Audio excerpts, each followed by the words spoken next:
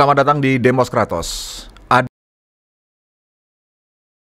yang mengatakan bahwa negoro mawa toto, desa mawa.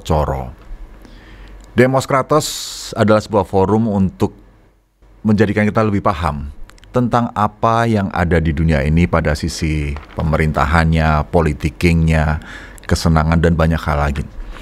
Saya sudah sedemikian lama sejak membuat acara ini pengen ngobrol dengan lurah kepala desa, sosok yang dipilih menjadi pemimpin di saat setiap warga memberikan suaranya. Buat saya, jabatan seorang lurah atau kepala desa hari ini adalah sosok yang terpilih secara demokratis dan hakiki. Sekian tahun acara ini berjalan, baru sekali ini saya kedatangan lurah. Beliau berkenan datang jauh dari sebelah barat dan dalam usia yang masih sangat muda, beliau akan berbagi ilmu dengan kita tentang tingginya ilmu beliau. Sugeng rawuh bahwahmu. Sugeng rawuh. Kula nuwun. Ije. Matur nuwun sampun kersa tindak di Demos Kratos. Siap. Mbah, saya selalu, selalu tergelitik. Ya, lurah itu bisa mempesona ribuan warga di sebuah desa yeah. untuk memilihnya menjadi pemimpin. Yeah. Pertama kali terpilih menjadi lurah tahun berapa dan usia berapa, Mbah? Oke, terima kasih. Mas, saya panggil Mas ya. Boleh, Mas juga nggak apa-apa. Biar biar muda. Walaupun usia kita sama. Iya, malu. Biar nah, masih awet muda. uh, secara terpilih kami di Pilkades tahun 2006 uh, kemudian uh, mohon maaf uh, 96 kali, Mbak. Betul, 2006, 2006. ya. 2006 uh, pilihan Pilkades Kemudian kami menjabat sesuai dengan pelantikan SK Bupati tanggal 9 Januari tahun 2007. Mm-hmm. Itu untuk jabatan 6 tahun di, sampai dengan tahun 2012. Kemudian di Pilkades lagi ya untuk yang kedua kalinya uh-huh. alhamdulillah lagi. terpilih lagi uh, dengan jabatan tahun 2012 sampai tahun 2019. Sekarang Kemudian uh, terpilih lagi di jabatan yang ketiga karena undang-undangnya mengatur tentang itu akan menjabat selama 9 tahun. Insya Allah. Derek bingah, Mbak. Derek ya, bingah. Alhamdulillah, alhamdulillah. Ya, ya, ya. Tapi kita nggak usah serius-serius ya, Mbak. Ya? Siap, siap, siap. Santai aja. Ya. Ada semacam hal yang ditandai dalam tatanan masyarakat kita bahwa hmm. jika lurah itu tidak bagus ya. memimpin, ya. dia akan kesulitan untuk menjabat di periode selanjutnya. Betul. Berarti Mbak udah bagus dong Mbak? Insya Allah. Jadi eh, yang namanya pemimpin di tingkat desa ini kan apa niatan dulu. Kuncinya itu, niatan kuncinya dulu. niat dulu. Ya, semua masyarakat punya hak yang sama ya untuk menjadi kepala desa. Tapi niatkan yang murni dulu. Niat saya ingin jadi kepala desa itu apa? Ya, apakah mencari uh, popularitas, mm -hmm. apa mencari kekayaan, mm -hmm. atau bagaimana? Atau pengabdian? Atau pengabdian. Bah yang mana, Mbah? Alhamdulillah saya sesuai dengan hati nurani saya adalah mengabdi dalam masyarakat dan bersama-sama dengan masyarakat membangun desa. Itu. Terima kasih. Ini nggak bohong kan? Insya Allah tidak. Terbukti tiga kali. Alhamdulillah. Tidak ada iya. lurah di skala nasional yang bisa tiga kali, ya, Pak. ada, tapi U tidak begitu banyak. Lurah itu, Pak ya. Iya. Undang-undangnya lurah iya. skala nasional kan berarti iya. kan Pak Presiden. Undang-undangnya cukup dua kali. Betul, betul, betul. Waktu pemilihan pertama, kedua, dan ketiga ini ya. bukan calon tunggal, Mbak? Bukan. Pemilihan pertama tidak. Uh, pertama kami mencalonkan diri pada saat itu pesertanya ada lima. Lima? Lima, lima kepala calon. Desa Bojonangka itu ada berapa dukuh, Pak? Desa Bojonangka ada dua dukuh, Tambak Yudan dan Bojonangka itu sendiri. Hmm. Kemudian ada enam kepala dusun. Ya. Kalau jumlah RT-nya ada 52 RT. Warga? Ada 10 RW warga kalau sekarang sesuai dengan DPT kemarin pada Pilpres 9.600 uh, jumlah pemilih. Kalau jumlah total penduduk kami ya sekitar hampir 15.000. 15 ribuan. Iya. iya. Dan bisa memenangkan kontestasi itu. Amin. Iya. Hubungan dengan mantan pesaing gimana, Mbak? Alhamdulillah tidak ada permasalahan karena ketika kami menjabat semua adalah masyarakat kami rival teman sendiri iya teman-teman sendiri dan sebagainya tidak ya artinya kita secara demokratis ya ketika kami menjabat semua kami rangkul. Ya kuncinya itu. Jadi tidak ada membedakan yang dulu masyarakat kami ke sana ke sana dulu saingan? saingan sekarang tidak ada. Ada setelah jadi pun kita rangkul semuanya. Mau mereka? Alhamdulillah ya tetap manusia mungkin ya ada yang sedikit mungkin di hatinya yang tidak hmm. kita ketahui. Tapi ya rata-rata alhamdulillah ya mau semuanya. Ilmunya ilmu iya. sepuh itu.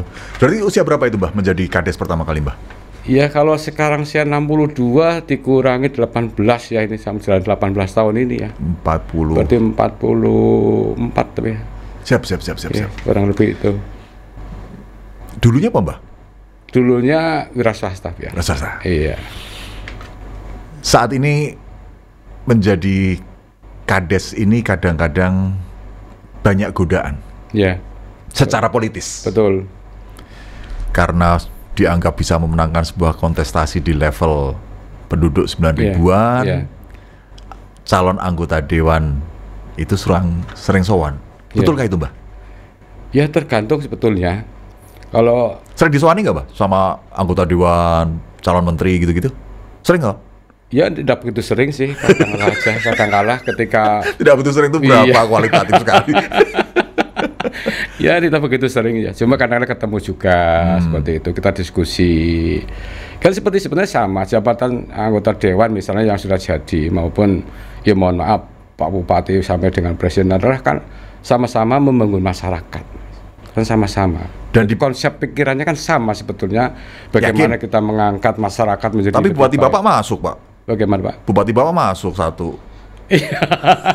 ya mungkin yang namanya manusia kan punya ke khilapan ya ah. ada keinginan mungkin bukan secara pribadinya mungkin ada yang lainnya yang namanya manusia kan seperti itu godaan tetap masih ada tapi rata-rata seorang pemimpin yang dipilih yang jadi karena menang bidding ya. itu pengabdian pak iya hmm. pengabdian pengabdian hmm.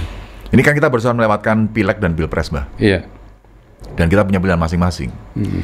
Saya itu sempat dekat dengan seorang tokoh yang menjabat sebuah asosiasi uh, kepala desa.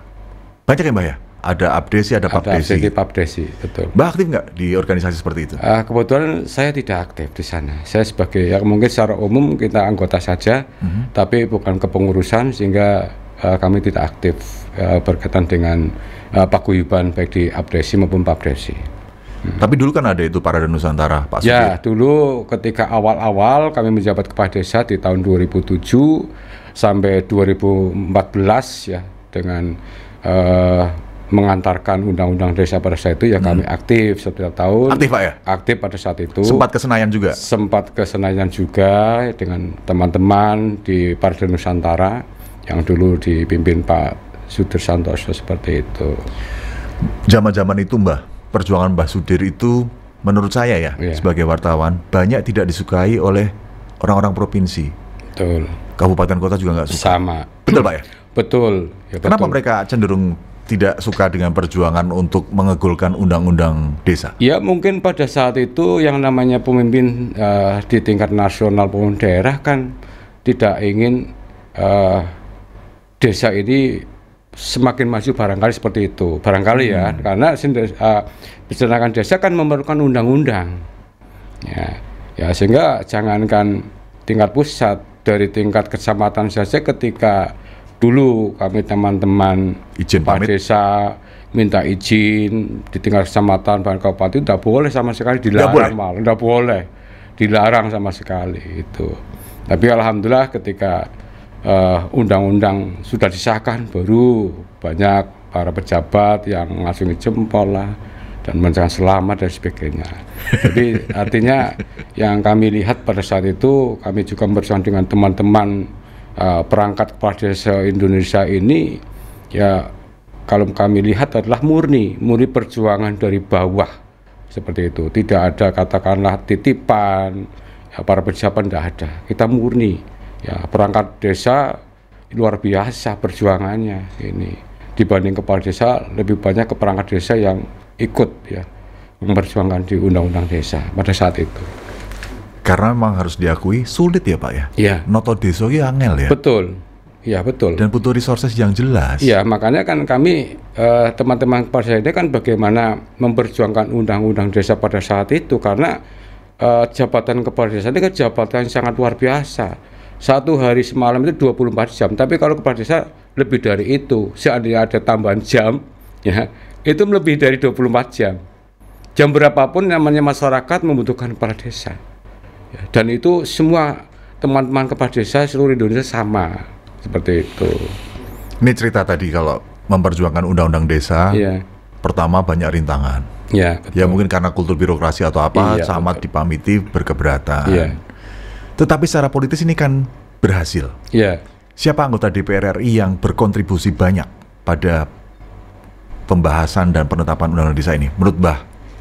Ya kalau Bang. seingat uh, saya dulu ketika kami sering ya ikut dengan teman-teman kepada desa perangkat desa ke Senayan, ya kami di sana banyak diterima uh, saat itu beliau sebagai anggota Dewan Pusat DPR Pusat ini ya ada uh, Pak Budiman Sujatmiko, ada Pak Mukowam, ada Pak Ganjar di sana seperti itu hmm. yang di samping yang lain yang uh, kami tidak begitu kenal lah itu ya, seperti itu. Tapi benar Pak Budiman mau masuk ya? Iya itu. Jadi kalau beliau adalah uh, chairman of the kepala desa, desa itu agak benarnya juga. Betul. Pak Mukowam juga kuat ya? Pak Mukowam juga kuat dan Pak Budiman saat itu juga sering berkunjung di tingkat kabupaten. Hah?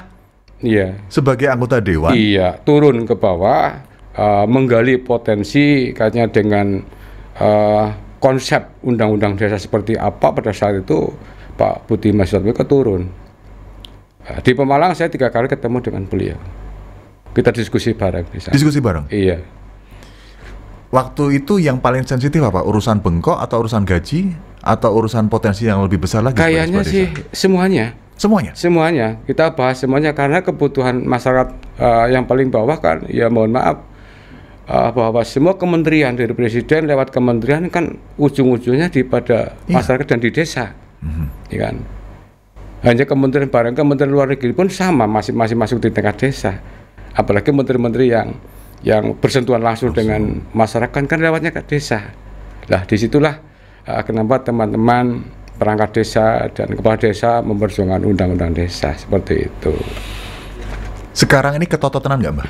Ambil contoh begini ada seorang hmm, bupati yeah. dimintain data oleh kementerian, mendapat laporan dari sekian banyak cari sekdes. sekdes. Datanya tidak akurat karena asal ngisi. Begitu menjadi polisi nasional, kesimpulannya orang-orang adalah Pak Presiden diapuri diapusi sama Pak Cari. ini anekdot ya Pak Sekdes. Dengan adanya undang-undang desa ini Pak, iya. seberapa valid data dimiliki oleh desa yang kemudian dioleh oleh instansi lebih tinggi? Iya. Sudahkah cukup reliable? Sebetulnya data kalau orang miskin, iya, data sebetulnya kalau data-data kemiskinan atau sosial yang lain di tingkat desa itu datanya sudah ada di tingkat desa sejak dulu sebetulnya. Cukup. Cuma permasalahannya adalah data tersebut bisa disusupi oleh kegiatan program-program yang lain. Di masa seperti oh, itu. Ya misalnya ini. katakanlah ya data kemiskinan misalnya kata data kemiskinan di desa kami lah. Ya sebetulnya kemiskinan yang menjadi arah dibantu pemerintah yang seperti apa? Hmm. Kan kan dilihat dari mungkin umurnya, kemudian dari mata pencahariannya, dari rumah tinggalnya kan seperti itu. Kelihatan ya itu. Pasti. Kelihatan. Tapi kalau yang sekarang ini kan, ya mohon maaf, eh, rata-rata uh, uh, masyarakat banyak mengaku miskin. Hmm. Ini realitas yang ada. Dan standarnya terpenuhi. Standar terpenuhi. Padahal sebenarnya mampu seleranya kayak gitu. Mampu. Dan semua mengetahui semua itu. Jadi kadar-kadar manusia nih kadang-kadang data itu ya. menjadi tidak akurat. Ambil contoh, tidak akurat seperti saya itu. punya gubuk yang tidak ber uh, plaster, plaster. Karena saya suka. Ya. Dan itu. Tapi kalau saya dibilang miskin, saya masih lokan. agak enggak. Nah, ya jujur saja. Ya, kebetulan orang tua saya, mertua saya adalah orang Purwodinggo bukan, hmm. ya kan. Zena rata-rata kan rumahnya joglo, dua yeah. sampai tiga ke belakang iya. panjang. Yeah Sederhana sekali. Sederhana sekali. Padahal papan, di bawah bantal biasa. isinya emas berlian, Pak ya. Kemudian tanahnya masih tanah biasa di gulung presteran, ya kan seperti itu. Apakah itu masuk dalam kriteria miskin kan tidak? Tidak, Pak, yakin ya? Tidak.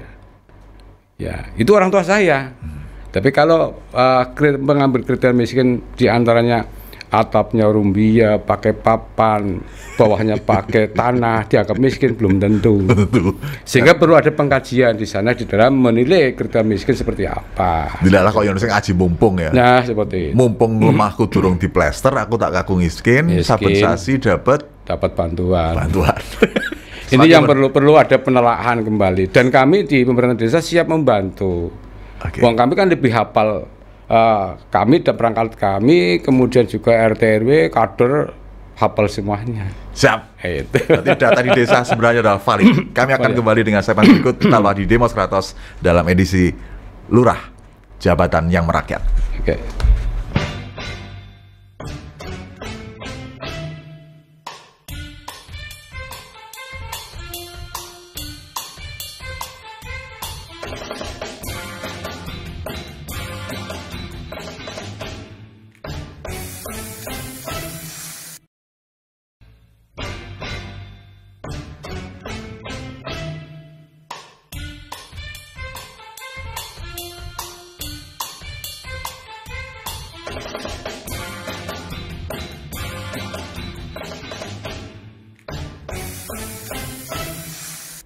Kembali di Demos Kratos, saya bersama seseorang yang energinya sedemikian muda, tetapi perjalanannya untuk menjadikan Indonesia lebih baik harus saya sungi jempol. Karena beliau pernah datang ke Senayan, menyampaikan aspirasi dari sekian banyak warga yang uh, menjadi pemilihnya untuk mendapatkan derajat kehidupan yang lebih baik.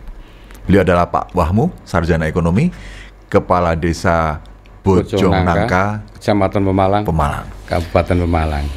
Bah, Siap. Bengkoknya berapa hektar, Mbak? Uh, kalau di tempat kami 8 hektar. ADD-nya berapa? ADD-nya sekitar 700 jutaan. Hah? ADD. Kok sih, Man? Alokasi dana desa iya. 700. Tapi kalau dana desanya Dana desanya 1, kalau dana desa dari pemerintah pusat? Iya, kalau dana desa dari pemerintah pusat, ADD, kalau ADD dari kabupaten uh, kota provinsi. provinsi. Cukup nggak, Mbak? 8 hektar plus 2 miliar mengelola desa yang selalu penuh dengan aktivitas. Ono sing supitan, ono sing mantu, ono sing keseripan. Hmm, jadi kalau kaitnya dengan dana desa maupun ADD tidak ada kaitnya dengan penghasilan kepala desa. Oke. Okay. Kecuali ADD, kalau ADD ada kaitnya dengan penghasilan tetap ada hmm. di sana yang setiap bulan uh, dari pemerintah. ya. Cukup, Mbak. Tapi ya, kalau yang, yang resmi, yang tetap cukup nggak hari ini? Nggak cukup, Mbak? Kalau jabatan kepala desa atau pejabat publik tidak cukup. Nggak cukup kan? Tidak cukup. Jelas tidak cukup. Apalagi yang berkaitan dengan sosial masyarakat luar biasa. bukan gratifikasi itu ya? Bukan gratifikasi. Ini nilai sosial ya? Iya betul. Di sosial bukan gratifikasi. Ya, dalam satu tahun paling prenya kan hanya satu bulan di bulan haram. itu kalau kulturnya belum berubah. iya, betul betul. Tapi istiqomah. Alhamdulillah masih tetap istiqomah. Iya. Berarti cukup ya Mbah ya? Ya harus disukup-cukupkan dan kita harus bersyukur kepada Allah itu saja kuncinya bersyukur hmm. iya kuncinya bersyukur hmm. 18 tahun menjadi kades ya siap sebenarnya saya lebih suka dengan istilah lurah loh ya gitu ya. ini aku loh pribadi loh ya iya iya saya mungkin kenapa menjadi apakah menjadi lebih go nasional jadi kepala desa. Ya. Kalau di Jeporo itu kan petinggi. Petinggi betul. Di banyak desa Mataraman itu ya, lurah. Lurah. Di Jawa Barat apa? Kubu. Kubu. Kubu. Kan. Ya. Pemalang kan juga ada mabu ya, sana juga ya. Lurah. Ya. Gitu. Jadi kalau istilah bahasa lurah itu ya sebelum ada aturan undang-undang ini ya dulu kan lurah. Lurah. Karena tidak ada gajiannya oleh pemerintah. Dulu, yang gajian masyarakat. 2006 belum gajian, Mbak? 2006 belum. Belum. Masih bengkok asli hmm. seperti itu. Ya istilah lurah ini kan kategorinya adalah seorang PNS yang desa menjadi kelurahan. Hmm. Itu. Tapi sebutan zaman uh, kerajaan ya lurah seperti itu. Kalau di Kamu, Jawa Tengah sebelah timur ini kan petinggi seperti itu. Jadi nah, itu. memimpin sebuah wilayah perdikan gitu perdikan, ya. betul. Tapi ya bagi saya nama lurah, nama kasih tidak masalah. Yang jadi masalah ini kan bagaimana kita niat untuk bekerja untuk masyarakat saja. Sekarang kabarnya desanya maju. Alhamdulillah. Bupatinya bangga. Alhamdulillah. Ya apa yang bikin Mbah Wahmu bangga saat ini menjadi kades di Bojong Nangka? Ya, yang jelas bangga saya adalah bagaimana niatan saya alhamdulillah sedikit demi sedikit masyarakat mendukung, unsur kelembagaan juga mendukung. Uh, kemudian uh, kita berusaha mengikuti perkembangan zaman ya kan bagaimana desa harus bisa maju dan sebagainya kemudian bagaimana juga desa harus bersih ya berkaitan dengan pelayanan masyarakat kita harus uh, lebih intens lagi lebih per, mempercepat lagi pada pelayanan masyarakat. Ya alhamdulillah menjadi satu kebanggaan ketika kita punya cita-cita uh, kemudian bisa berhasil kan bangga bangga diri sendiri. Bahkan kebanggaan ini bukan milik kami sendiri adalah milik masyarakat. Birokratis banget sih mbak jujur saja yang bikin bangga apa? Desa wisatanya atau L apa BPD-nya atau pengolahan Alhamdulillah sampahnya? kalau ya, yang yang yang menjadi kebanggaan saya itu malah kompleks ya di saya benar penuh semuanya masyarakat sangat mendukung sekali hmm. ya program-program kami uh, ditambah kelembagaan baik BPD, LPMD ya dan sebagainya mendukung sekali ya kemudian kami membentuk uh, BUMDes di tahun 2000 uh, 2011 ya kan uh, kemudian sekarang uh, kami punya usaha berkaitan dengan wisata edukasinya. Kemudian sekarang sudah dikelola oleh badan usaha milik desa dengan penghasilan alhamdulillah sangat luar biasa untuk tingkat desa di kecamatan Pemalang. Bumdesnya pak? Bumdesnya ya kan. Sudah untung? Alhamdulillah sudah memberikan PAD desa. Iya. Wish. iya alhamdulillah sejak tahun 2022 23 ini sudah memberikan PAD kepada desa. Berarti 8 tahun struggling itu wajar ya Mbah ya? Iya wajar. Sebuah BUMDes ya? Betul. Hmm. Meraba-raba, merangkak-rangkak, iya. golek modal, ngedol neng di. Iya. 8 tahun setelah BUMDes berdiri, iya. baru menghasilkan untung. Baru menghasilkan, betul. Alhamdulillah luar biasa BUMDes kami dalam pengelolaannya, apalagi ada wisatanya, dan wisata ini strategis sekali walaupun kita mempunyai wilayah wisatanya tidak begitu luas, hanya 6.000 meter persegi. 6.000 ya lumayan iya, Mbak. Ya, satu bau lah karena orang orang Jawa kan satu bau kurang. Tapi di sana ada kolam renang anaknya, ya, kemudian ada uh, kaitnya dengan terapi ikannya, kemudian ada gazebo-nya di tengah sawah kalau menikmati alam. Ada homestay-nya, Mbak? Sementara belum ada homestay. Bikin dong, Mbak. Saya main ke sana nanti. Insya Allah. Sama Tidak, teman -teman homestay saya. nanti kita rumah warga uh, aja. Iya. Tapi ini, Mbak. Dulu kan lurah absolut ya. Iya. Dan setiap putusan lurah itu kelihatannya cari itu nggak mau membantah. Iya. Tapi zaman berubah, Mbak ya. Iya. Ada kepala dinas eh, desa lurah yang secara politis memang pemenang, iya. yang terpilih oleh rakyat. Iya. Sekdesnya ASN, Mbak. Iya. PNS kan? Iya ada BPD juga, Mbak. Iya.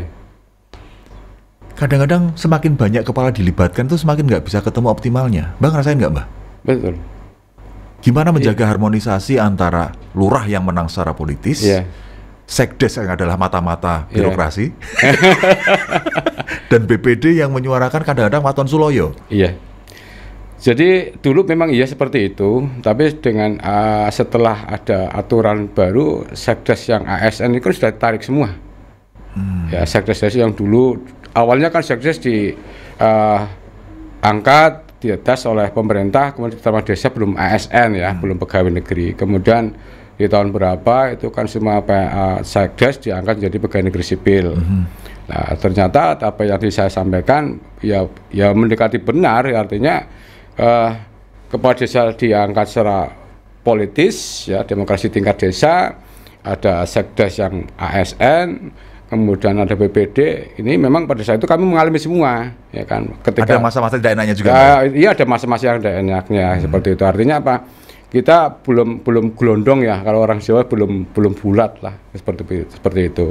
Tapi alhamdulillah kami mencoba uh, mengintrospeksi bagaimana kiat-kiat agar semua perangkat desa, sekdes yang ASN, tapi alhamdulillah setelah ada aturan uh, sekdes yang sudah ditarik ke pemerintahan di kecamatan, di kabupaten, kemudian kami ngangkat dari perangkat desa uh, yang kemudian uh, menjadi sekdes ya sesuai dengan hasil tes internal ya alhamdulillah kita tertata dengan baik. Kemudian lembaga lembaga pun sama. Jadi uh, prinsipnya bahwa kepala desa ini kan punya program ya berprogram berkaitan dengan uh, setiap pejabatan kepala desa kan harus membuat RPJMDes. Hmm. Nah, RPJMDes dibuat ini kan uh, dari bawah, dari tingkat dusun, dari tingkat RT. Lah, BPD ini di masing-masing RT itu ada, di masing dusun itu ada. Nah, sehingga aspirasinya BPD dimasukkan di sana. Ya. Apa yang menjadi keinginan lembaga yang ada di desa baik BPD, LPMD, Karangtaruna ada diangkat dari bawah di, di tingkat musdus. Nah, setelah diangkat, kemudian kita dimusdaskan, ya otomatis uh, program yang di RP Jamis ini kan besutan dari masyarakat bawah hmm. dengan lembaga yang di sana. Nah, kita hanya menerapkan sesuai skala prioritas setiap tahunnya. Sehingga alhamdulillah tidak ada permasalahan ya bertentangan atau gontok-gontokan tidak ada. Jadi malah enak ya? Malah enak sebetulnya. Sudah pasti terpilih secara ya, demokratis betul. oleh rakyatnya, ya. punya otoritas, iya. tetapi ya. gaweannya disengkuyung wong akeh, Mbak ya? Iya, betul sekali. iya. Ya alhamdulillah di kami lancar semuanya. Di tempat lain? Iya. Tempat lain gimana? Banyak cerita ya. ya. Kadang-kadang ada dene gue karaoke. Ya, tadi, tadi yang yang awal pembukaan adalah Desa Mawocoro. Di Desa Mawocoro ya. Iya. Dan ada kearifan lokalnya seperti ada kearifan di situ. Ya kembali lagi pada uh, tingkat tabiat sifat dari seorang pemimpin ya di semua saja. Kalau ingin uh, bekerja dengan baik ya konsepnya adalah niatan. Pulung, pulung, pulung, pulung, pulung, pulung. Masih ada nggak? Nggak ada. Yakin? Nggak ada. Sekarang sudah tidak ada. Itu. Masa sih, Mbah? Iya. Kalah sama amplop? Iya. Malah ngaku. Tapi alhamdulillah di kami tidak Enggak ya? Iya. Kalau awal memang saya jujur saja di periode yang pertama kedua ini ya betul-betul yang utamanya yang pertama ya didukung oleh masyarakat penuh. Hmm. Saya boleh dikatakan mohon tanda kutip 0% kami tidak mengeluarkan apa-apa. Kita modelnya tenaga pikiran saja pada saat itu. Walaupun wajar juga kalau nyalon itu ah, ya, seperti mantu selama tiga bulan itu wajar ya, iya. ya tamu-tamu datang tiap ya, malam. otomatis seperti orang hajatan. Yeah. Ya kita nyobati ada kala kadarnya kan seperti itu. Bah, itu. enak nggak menjadi lurah dikelilingi oleh profesi bernama botoh? Nah, saya ini sudah sebenarnya poin saya ngundang mbah-mbahmu ke sini itu mau nanya, botoh kita nanti gawe apik, gawe seneng, gawe kerentek, atau yang rusak ya mbak? Yang jelas yang namanya botoh ya yang membuat rusak aja. Rusak mbak? Rusak. Semuanya yang namanya botoh kan punya kepentingan pribadi yang namanya botoh. Iya nafsu itu. Nafsu. Ya orang baik tidak bisa jadi karena botoh juga. Oh. Itu. Dan masih ada di sana mbak? Di banyak tempat masih ada Banyak kan? masih masih. Masih toh? Masih masih. Jangan ke tingkat desa, tingkat presiden masih ada. Nah, iya mau istimewanya botoh gitu kan. Saya kalau punya duit mau jadi botoh mbak. Saya saya nggak punya duit. Jangan lah. Jangan. Jangan jangan. Itu banyak rusaknya mbak. Banyak rusak. Ceritain dong botoh. Jangan. Waktu ya, kades kemarin. Kalau di tempat-tempat lain lah. Di tempat-tempat yang saya dengar di tempat ya tempat saya mungkin mungkin ada ya. Misalnya hmm. katakanlah ada foto yang melihat nanti calon ini paling kuat akan jadi. Hmm. Ya, foto akan mencari lawannya, ya kan? Ya, saya tidak tidak tidak ngerti tentang tentang apa ukurannya uh, itu kan taruhannya. kan bentuk taruhannya seperti hmm. perjudian kan hmm. kan seperti itu uh, bahkan yang mesti diunggulkan akan ditembak mati oleh potoh itu sendiri itu sehingga bagi kami potoh ini ya sebetulnya ya, ya mohon maaf lah kalau bisa ya jangan sampai ada di tingkat desa kan juga merusak pikiran masyarakat karena yang masyarakat keinginannya harus lari ke timur harus dibelokkan ke utara misalnya seperti itu oleh pembotoh itu sendiri dan susah serta demokrasinya ya mohon maaf itu merusak demokrasi di masyarakat. Tapi teridentifikasi nggak Enggak. orang-orang yang bermain botoh itu? Enggak bisa, karena biasanya pemain botoh ini kan banyak kan dari luar, hmm. bukan dari dalam, bukan dari desa atau kota itu sendiri, banyak kan dari luar kota, seperti itu. Sekarang ini milih atas nama hati nurani iya. yang kita utamakan. Betul. Grade kedua adalah milih karena dipengaruhi yeah. oleh banyak faktor. Sing paling jengkel itu tidak punya pilihan, abstain. Nunggu nih wuwur. Bener gak, Mbak? Banyak betul itu suka banyak. Gitu ya? Itu. Iya. Tetap ada yang namanya demokrasi masyarakat itu pasti ada. Hmm. Ya ada yang hati nurani uh, walaupun tidak sekali saya, saya harus tetap pilih si A juga ada. Seperti itu. Yang dipengaruhi kamu harus ke sana juga ada. Atau menunggu sesuatu ya juga ada yang namanya masyarakat demokrasi ya seperti itu. Iya. Inilah manusia ya. Iya. Dan seorang calon pemimpin maupun pemimpin harus paham gejala ini. Harus paham. Dan menanamkan nilai yang benar itu seperti apa? Iya, ya harus menanamkan nilai yang benar itu bagaimana uh, sifat sepak terjang kita utamanya. Jadi sesuatu hal yang berkaitan dengan keinginan atau cita-cita kan harus diberikan contoh diri kita sendiri sebetulnya. Cita-cita yang mulia ya. Cita yang mulia atau malas kalau cita yang tidak mulia nah bukan cita-cita namanya. Siap. Itu itu bagian dari bisikan setan. Bisikan setan. saya belajar banyak. Nanti saya akan sambung lebih lanjut setelah jeda pariwara berikut ini. Tetaplah di Demos Kratos. Oke. Okay.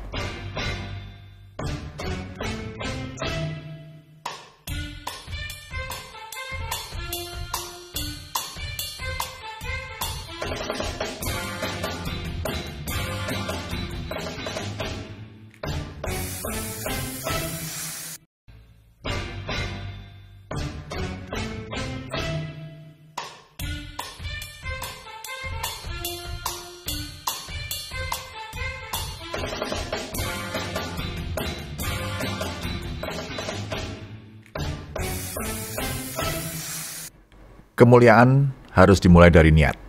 Rintisan menuju kemuliaan itu banyak ceritanya. Kadang-kadang harus berdemo ke Senayan. Kadang-kadang harus menemui uh, rekan kerja yang punya pikiran yang berbeda. Kadang-kadang menemui permintaan banyak orang yang kadang-kadang sulit untuk diwujudkan. Tetapi berbicara bertemu dengan tamu kita kali ini, Wah Mahmu, Bah Wahmu, Kades dari Bojong Nangka, Pemalang, membuat kita terbuka tentang apa arti cita-cita dan kemuliaan didapat. Mbah, setengah jam kita udah ngobrol jauh. Siap. Terpilih 2016, betul ya Mbak ya? 2006. 2006. Sejak 2006 sampai Dan terpilih tiga kali. tiga kali. Desa Bojong Nangka itu profilnya seperti apa sih Mbah? Profil masyarakatnya bergerak pada kesibukan apa yeah. dan kemakmuran desa diraih dari mana Mbah? Iya. Yeah. Jadi kalau bicara tentang Bojong Nangka ini masyarakat kami adalah masyarakat petani buruh dan uh, petani biasa. Artinya uh, hampir 99% adalah masyarakat adalah buruh tani dan petani. 99%? 99%. persen. Satu persennya pedagang? Satu persennya ada pedagang, ada pengusahanya, ada uh, ASN-nya. Indonesia banget Pak ya? Iya betul. Indonesia banget Indonesia ya? banget. 90% ya. adalah, adalah masyarakat agraris. kami adalah uh, petani dan buruh tani. Yang tumbuh di sana bagus apa Mbak? Eh, rata-rata uh, alhamdulillah pertanian di sana tumbuh semua dari bawang merah juga tumbuh bagus. Hmm. Putih belum? Uh, putih? Putih bawang putih enggak. Ya? Kalau bawang putih biasanya identik dengan daerah ya. pegunungan. Daerah ya, seperti itu. Ya ada palawija komplit, ada bawang merah, ada pare, kacang panjang, sesim, ya, kemudian kangkung, semua jenis tanaman. Dipasarkan di mana, Mbak? Uh, untuk desa Pejawan sendiri, alhamdulillah uh, petani kami banyak menyuplai di pasar sayur Kabupaten Malang. Hmm. Tapi juga menyuplai di pasar induk yang ada di Cibitung. Iya. Deket ya sekarang ya dengan tol ya? Iya. Kirim ke dekat. Jakarta. Iya, itu rutin. Jadi, rutin. Rutin. Jadi pedagang-pedagang yang ada di Bojonegoro, biasanya petani kan kemudian dijual di pedagang yang ada. Ya warga kami juga Bojonegoro hmm. di pool sana. Ada poolnya. Ada poolnya, kemudian bisa dibawa ke pasar Cibitung. Dan kami pernah ngecek juga di pasar Cibitung di sana ketemu dengan warga dan juga lapak yang punya sana juga orang Pemalang di pasar Cibitung. Oh. Iya. Orang Pantar Polang itu saya di sana pernah ada ngecek di sana ya menampung barang-barang hasil bumi dari Kapoconangka. Padahal itu dunia yang keras banget loh ya. Iya. Di betul. pasar induk itu ya. Oh luar biasa. Itu. Itu harus tetap duitnya, tetap mentalnya. Iya. Banyak saya ya? di sana itu hampir sehari semalam di pasar saya di sana hmm. mengamati kehidupan karena apa dapat laporan bahwa hasil bumi desa Bojonangka banyak dibawa eh, uh, ke Jakarta. Jakarta Malah sih ternyata di pasar induk Cibitung. Dan saya ketemu di sana uh, banyak ngobrol dengan pedagang. Kemudian warga kami juga ketemu banyak di sana mesenang ya seperti itulah. Alhamdulillah artinya uh, produk-produk Bojonangka bisa menyuplai ya baik untuk Kabupaten Malang maupun untuk luar kota. Dan dibayar? Bayar ini yang sulit, Mbak. Saya ini kan petani cabai dulu, Mbak. Iya. Sekarang udah mulai jarang-jarang itu. Kadang-kadang juragan saya itu kehabisan modal karena nggak dibayar, Mbak. ini bener loh, Pak. Iya. Ya kan? Karena iya. memang mengirimkan sesuatu yang terpisah jarak dan waktu. Iya pembayaran ini biasanya termin. Ya, biasanya pakai apa? Tempo ya. Tempo, tempo kan? Tempo, iya. Tapi pasti dibayar, Mas. Pasti dibayar sih kalau tempat saya pasti dibayar itu. Berarti ketemu uh, pedagang yang bagus. Pedagang ya, langsung sih, kita kan ketemu pedagang. Hmm. Ya, kecuali kalau pakai istilahnya bangkelan itu beda. Kalau ini kan dari petani, kemudian dikumpulkan, ada pedagang besarnya, kemudian dibawa ke sana. Dan dari petani itu langsung dibayar oleh pedagang sendiri. Pertanian menjadi sentra pemandangan di desa wisata Mbah ya, Iya, oh, iya. betul, betul ya. Kita punya wisata uh, edukasi. Karena kita itu, uh, ada edukasinya yang utama kami berkaitan dengan tanaman padi. Kami prihatin sebetulnya. Kenapa kita membuat wisata yang kita namai Gatra Kencana? Ini edukasinya adalah padi atau sawah. Mm -hmm. Kami prihatin sekali. Kadang saya merenung dan nangis. Saya kan petani juga. Anak-anak kita, ya, di lahir ke era uh, tahun 2000 sampai sekarang ini kan tahunnya hanya nasi, mm-hmm. ya kan.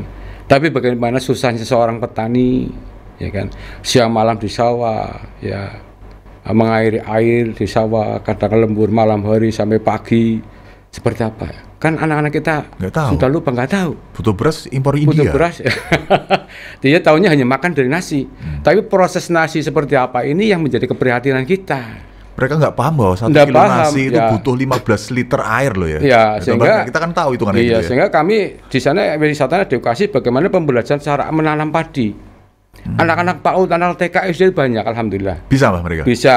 Ya dia belajar, akhirnya dia senang dan ternyata anak-anak kita perlu edukasi, perlu bermain di lumpur juga. berani kotor itu bagus. Berani kotor itu bagus, tapi kotor yang bagus seperti apa, ya kan? Ya, ini yang menjadi keprihatinan kami seperti itu. Teknologi digunakan nggak, Mbak? Misalnya anak-anak itu diajari uh, nanam padi, ya. kan ada sistem yang jajar legowo, ya. ada yang biasa asal asal digawe lurus kayak gitu. Ya. Kira-kira yang dimainkan di sana apa, Mbak? Uh, kalau di sana masih membuat tanaman langsung dari benih, hmm. kemudian kita pakai. Jadi ngurit ya? Sudah, iya. Yang dicemplung itu sudah diurit ya? Iya sudah, sudah. Seperti itu pakai benih. Umur 15 ya. hari iya, ya? Iya, benih 15 hari sudah itu kita belajar seperti itu. Tapi ternyata eh, kalau saya amati kami melihat anak-anak senang sebetulnya. Sebenarnya senang sambil ya? bermain. Hmm. Ya, teman sambil bermain. Ya, dia kan jarang main berlumpur di sawah beda dengan ketika kami kecil kan. Nyemplung lumpur ya, berarti boleh susah ya. lumpur di sawah cari belut, cari ikan di sawah. Belutnya masih ada nggak, Mbak? Kalau di tempat wisata ada, karena ada. kita kebetulan wisata edukasi ada sawah uh, di tengahnya ada sawah yang kita uh, download untuk uh, pupuknya pakai organik. Ah. Iya dari pengolahan sampah yang kami buat, kami downloadnya di wisata sehingga uh, belutnya juga hidup, katakannya juga hidup di sana seperti itu. Mbak, mbak, sampah diolah, mbak? Iya.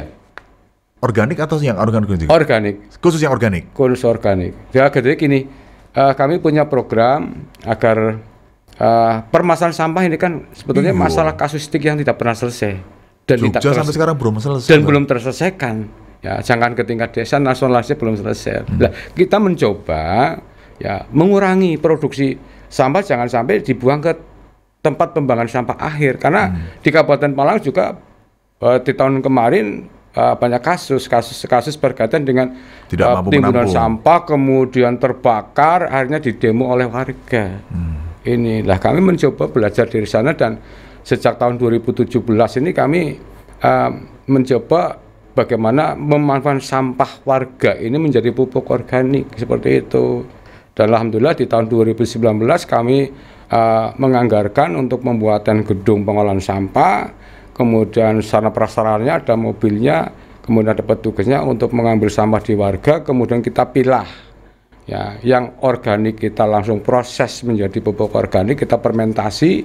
Kemudian di tahun 2021 2002 kami mendapat uh, bimbingan dari uh, Badan Kepegawaian Provinsi Jawa Tengah juga BKD BKD Provinsi Jawa Tengah yang membimbing kami di Desa Pojonangka. Dan hampir sampai sekarang uh, pupuk organik ini bermanfaat. Dan di sa tengah sawah di wisata Katara Kencana ini ya murni Pak. Murni hmm. uh, tidak pakai pupuk kimia. Itu alhamdulillah hidup dan subur. Kandungan nitrogen, kalium dan fosfornya? Otomatis dari sampah kan ada sisa makanan. Oh. Dari sayuran, sayuran kan ibu-ibu biasanya kalau mau nyanyur kan pasti ada yang dibuang. Hmm. Ya semua jenis sayur kan ada kandungannya kan Belum kalau misalnya ya. panen ya. kubis, ya kubis, itu ya. ada kangkung, ya kemudian diolah itu mbak ya? Diolah, diproses, kemudian kalium itu kan biasa dari sisa makanan dari ikan juga banyak sana. Ikan? Iya, iya, orang makan kan biasanya oh, iya, iya. kepalanya kan dibuang. Tapi ada punya kolam ikan yang gede juga. Kan, Besok kayak bikin sisa makanan itu sisa makanan. ada nasi yang dibuka, ada sisa sayur makan. Nah, itu kan diproses. Nah, kemudian kita fermentasi. Nah, kemudian kita aplikasikan di download yang ada di wisata edukasinya. Air sepanjang tahun ada, Mbak? Kebetulan yang untuk download airnya kita mengambil dari air dalam, pakai sumur pompa Artetis, Mbah? Ada. Ya, bukan bukan artetis, arti oh. Uh, ya seperti petani-petani meng gitu ya? mengambil air yang hanya takaran kedalamannya sekitar 15-20 meter aja. Berarti cukup ya, Pak? Cukup. Untuk nyemproti ya. di musim oh, ketiga kayak gini bisa, ya, Mbak ya? Masih cukup ya. Untuk takaran satu. Jadi pengen banget ke sana, Mbak, aku, Mbak. Monggo, monggo. Kapan ya? Hari ini Mbak mau ke Ambarowo, gitu. Kondornya besok. Besok, hari Minggu bisa. Saya udah di rumah kok. Ya, tapi harus bikin dulu. ini musim apa Mbak sekarang Mbak? Ini musim apa? Panen ini apa? Ini masih tandur, sudah panen. Masih tanam. Padi? Padi. Ya yang, yang padi-padi, yang Polojo, Polojo. Kalau Semangka ada Mbak? Semangka enggak ada. Enggak ada ya? Iya, karena kalau semangka di daerah kami sebetulnya cocok, tapi petaninya belum begitu mahir kayaknya sih. Iya, iya. Biasanya memang. kalau semangka di saat tempat kami itu mendekati bulan-bulan puasa, puasa biasanya. Baru nanam. Iya, baru nanam itu sehingga pada puasa bisa panen. Gitu. Kalau Mbak sendiri nanamnya apa Mbak? Kalau saya sendiri padi, sementara padi. Saya kalau bisa Padi itu kan kayak UMR Mbak hasilnya Mbak. Kalau hitungannya seperempat hektar loh ya. Jadi gini, uh, padi kami kayak mencoba kan dengan tadi pengolahan. Setidaknya kami uh, memberikan contoh kepada masyarakat kami tentang organiknya. Hmm. Alhamdulillah kami uh, di samping di, di wisata, di luar wisata kan saya ada satu hektar itu hmm. nah, yang kita mencoba kita aplikasikan dari pupuk kompos seperti itu. Uh, lokasi tempat wisata ini di tanah bengkok atau tanah? Tanah bengkok. Punya mbak sendiri? tan ya kalau dulu bengkok kepala desa uh -huh. kalau sekarang menjadi tanah kas desa semua. Kebetulan uh alhamdulillah desa kami Bojonangka uh, istilah bengkok sudah sesuai dengan aturan sudah tidak. Jadi pengelolaannya adalah tanah kas desa yang setiap tahun kita lelang. Yang yang lain adalah masyarakat petani kemudian uh, uangnya masuk di APBDes tapi kembali nanti kepada sesuai dengan uh, jumlahnya kepada perangkat desa dan kepala desa artinya tidak mengelola langsung ya kita yeah, pakai yeah, yeah, lelang ya dan alhamdulillah di tingkat kecamatan kabupaten Pemalang ya baru kami yang lelangnya terbuka yeah, terbuka yeah, yeah, kita mengundang masyarakat kita mengundang Uh, Siapa yang pengen iya, bidang ini? Iya gitu betul, ya. betul. Sekarang udah kayak gitu ya? Tertib iya. banget ya, ya? Alhamdulillah sudah tertib ya bahkan. Nah ya, bicara soal tertib, Mbak. Iya. Di desa itu kan kadang-kadang walaupun sekarang zamannya PTSL, Mbak ya. Betul. Itu buku tanah desa itu kadang-kadang menjadi sorotan. Iya. 16 tahun memegang buku tanah desa, ada cerita apa aja, Mbak? Ya, yang... Bahwa banyak yang tidak melek tentang aset gitu? Ya sebetulnya banyak ya. Jadi yang namanya pengelolaan tanah tanah-tanah warga tanah letter C ini kan sangat kompleks ya hmm. permasalahan sehingga oleh pemerintah uh, bagaimana menyelesaikan tanah-tanah masyarakat ini program PTSL ini sangat tepat seperti itu. Hmm. sehingga ada kepemilikan yang sah ya. Kemudian otomatis masyarakat tidak merasa takut ya. Kepunya tanah nanti hilang dan sebagainya kan seperti itu. Lah kami dari pemerintah desa ya sangat membantu sekali karena uh, masalah letter C tanah masyarakat ini kan. baik. Patok sebelah di betul. Uh, kemudian patok yang dulu tahun dulu sebelah sini kok sekarang geser itu kan ya, ya saya kadang-kadang guyonan ya? guyonan dengan para petani masyarakat kok kok padahal geser ya apa ada rodanya dalamnya gitu berarti ya. diguyoni aja mbak iya guyoni diguyoni saja itu. iya betul iya kadang-kadang kita bikin pematang iya, itu mbak ya iya. kecruk kecruk kecruk iya iya geser senti, senti, apalagi geser. kalau cangkulnya tajam, tajam kan luar biasa utamanya kan Uh, kalau kayak gitu cukup diguyoni aja mbak? Iya guyon aja, guyon api maton. Ah. Seperti itu.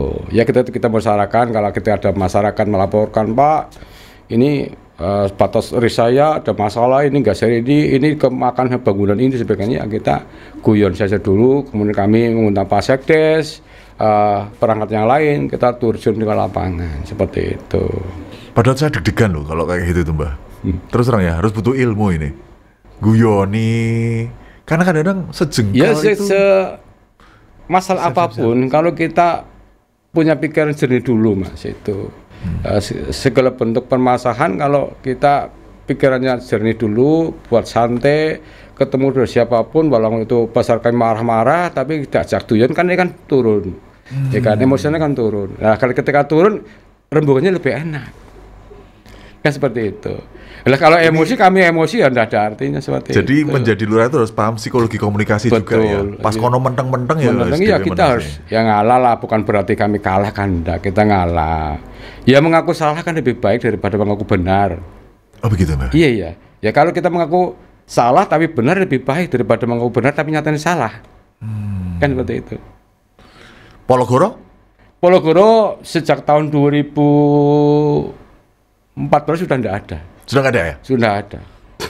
Alhamdulillah kami bahkan desa kami kan di tahun 2022 23 uh, menjadi satu percontohan dari Komisi Pemberantasan Korupsi di tingkat Contohnya kor KPK? Iya, KPK di Nangka itu dua tahun loh, bina kami, ya seperti itu. Nggak main-main ya, bersih-bersihnya? Iya, iya, kemudian ya karena Nangka ditunjuk sih oleh kabupaten hmm. mewakili di Provinsi Jawa Tengah. Hmm. Ya Alhamdulillah kemarin lolos Jawa Tengah kan ada empat desa se Jawa Tengah dan launchingnya kemarin di tahun 2023 November ini di Kalimantan di KN sana. Alhamdulillah. Nah ini berkaca sebelumnya nih Mbak ya. Kadang-kadang kemutlakan seorang kades ini disegani oleh banyak orang. Yeah. Tapi saya kaget kemarin menjelang pilpres itu seluruh kades di tiga kabupaten di Jawa Tengah dipanggil oleh aparat berkaitan dengan saya nggak tahu hmm. penataan kebersihan administrasi desanya. Tetapi ada juga yang berpikiran bahwa ini adalah sebuah gerakan politis saja supaya Kades ini tidak berpihak kepada salah satu capres. Mbak merasakan ini enggak, Mbak? Ya, kalau atau betul, menata ADD untuk menjadi desa percontohan KPK itu tidak memang tidak gampang. Betul.